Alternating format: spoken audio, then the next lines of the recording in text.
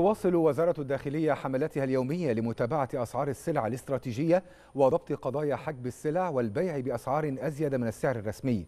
حيث تمكنت خلال 24 ساعة من ضبط 133 قضية تموينية بمضبوطات تقترب من 1654 طن مواد غذائية وغير غذائية. وفي مجال حجب السلع الاستراتيجية تم ضبط ما يقرب من 127 طن سلع غذائية مختلفة و27 ألف عبوة زيت طعام. كما تم ضبط 1286 طن دقيق مدعم في مجال الاستيلاء على السلع المدعومة.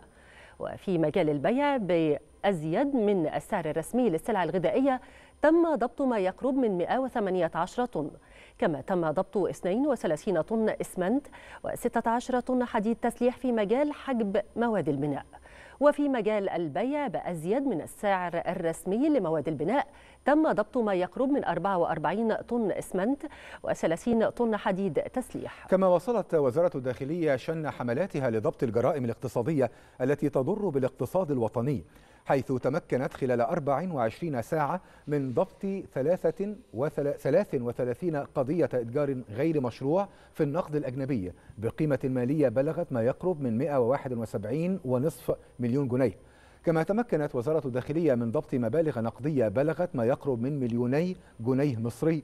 بالإضافة إلى ضبط ما يعادل 7.5 مليون جنيه عملات أجنبية مختلفة وضبط معاملات مستندية بالعملات المختلفة بما يعادل 162.5 مليون جنيه.